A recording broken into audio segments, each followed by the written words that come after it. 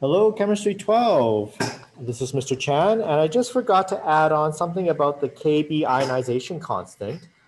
So what I wanted to do was show you a calculation of how you would approach a question, something to what you see on your screen.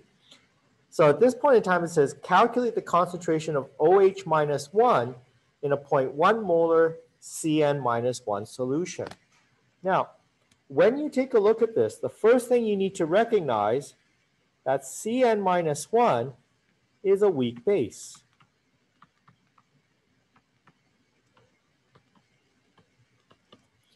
Again, what you can do is you can check, if you check your acid base chart, and you see for the location of CN minus 1, it's right here highlighted in blue. It's on the right-hand side.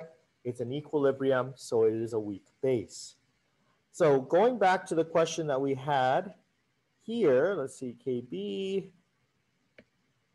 Okay.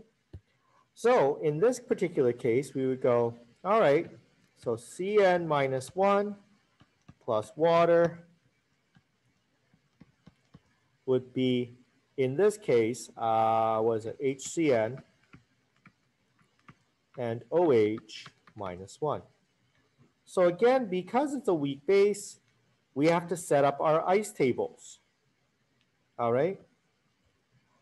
And this you've seen before, hopefully. So you have your ice tables.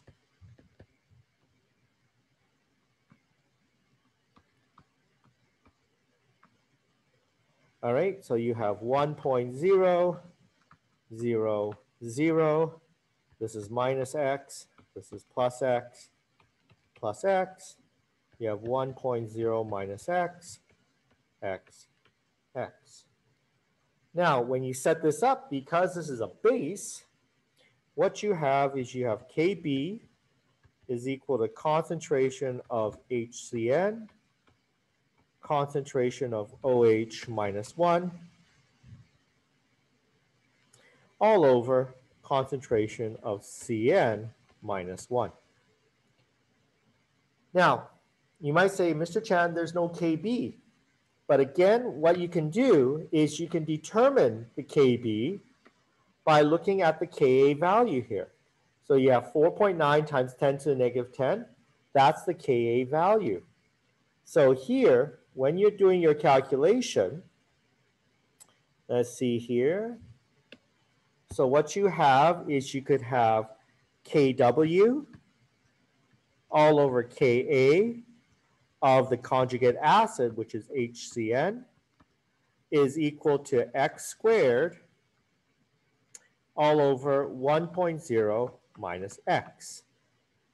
And in here, remember what you can do is you can cancel the x. Now, so then plugging in your calculations, this would be, if we were to do this here, this would be 1.0 times 10 to the negative 14 divided by the Ka of the conjugate acid, which is 4.9 times 10 to negative 10. That's equal to x squared over 1.0. And hopefully what you can do is solve the math Let's see here. You go 1 e negative 14 divided by 4.9 e to the negative 10. And then you take the square root of the answer. And the answer is for x, which is the concentration of OH minus 1, is equal to 0 0.0045 molarity. Okay, so in this particular question, all you need to do is recognize, first of all, that CN is a minus one. And because CN is minus one is a weak base, you recognize that you have to focus on Kb. All right, ladies and gentlemen. So just this little simple add-on to the Kb calculation notes. Uh, I forgot to put that on in my original video. So something, just a little add on here. All right, folks. Thank you very much. Have a good day. Bye-bye.